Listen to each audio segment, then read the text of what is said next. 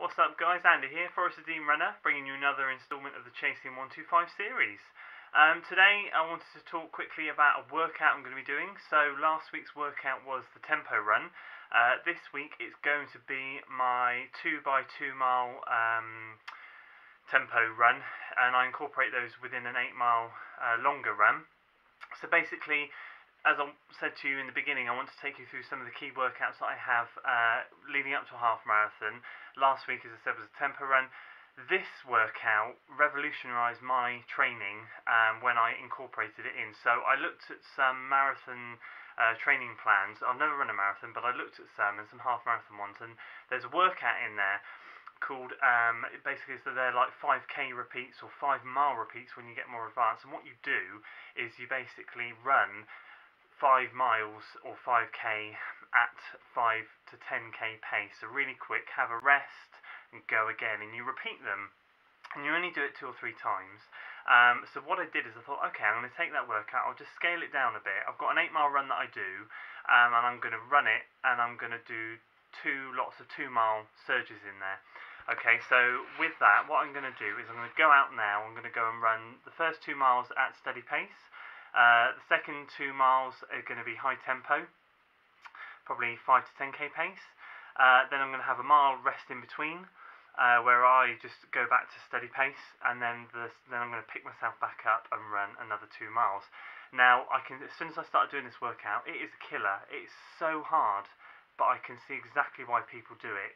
The reason I feel it benefits me is because it teaches me to kick off again when I've got really tired legs. It's when you hit the second set, uh, um, the second two mile set, where you're just thinking, I can't do this, I can't do this. But when you get into it, you're like, oh my gosh, I'm doing it. And your legs are feeling tired, but your brain is telling you to carry on. And if you fight against it and you push through, it gets easier and easier every time you do it. Well, it never gets easy, but you get used to the, the whole picking yourself back up after you're tired.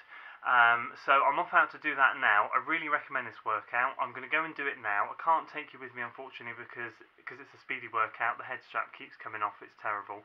Um, so when I get back, I'll sit down and we'll analyse the stats. I'll see you in a minute. Right guys, that's the workout done. So that's 8.1 something miles done now. Um, I've got the splits here and I'll post a link to my Strava picture um, at the end like I did on the tempo run.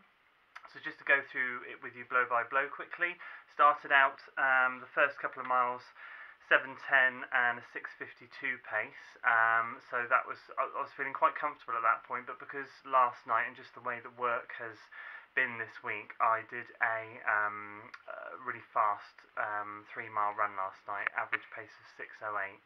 Um, so I was, I was really putting it in last night, and my legs were just feeling it a little bit. But I felt good at that point still.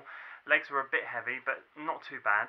Um, kicked off the first um, tempo mile at 6.26, so that was kind of what I wanted. Then hit the hills and did a 6.52, um, which I was kind of a bit disappointed at, but at the same time realised how hilly it was. And if you watch my tempo run from last week, um, I kind of follow um, a bit of that track, and you'll see some of my tempo splits on that run. That's what I would call my hilly tempo run. I'm still pushing at the same heart rate, but over the hills. Um, and I was kind of hitting that pace, so I kind of went, okay, ran the rest uh, mile in the middle at 7:35. By that point, my legs were killing me, um, but I pushed on and did the next two miles in 6:33 and 6:43. So the first mile was good. Second mile was a bit too slow. Um, and then I came home in the last mile, uh, 6:48. I kind of, because I was a little bit disappointed with the last uh, last mile on the second set, I kind of pushed on for a little bit more afterwards, just to get my body used to pushing for about two and a half miles, and then I slowed down. So that's why that last mile was a little bit faster than normal. Um, but overall, first time I had the GPS watch with this workout, I'm happy with it the splits are not quite what I wanted. I wanted to see a bit more of a clear definition between the tempo runs, uh, the tempo miles, and the non-tempo miles. But I guess that's just because I'm doing them over hills. 530 foot of elevation run, so you know again that's quite that's quite good and quite a lot of elevation to work on. So yeah, that's done overall now. I'm going to go and have some lunch. Um, thank you for watching this workout. Next week I will do another workout. We'll go through another kind of key element of my training. Um, and I hope your training's going well, and I'll catch you next time.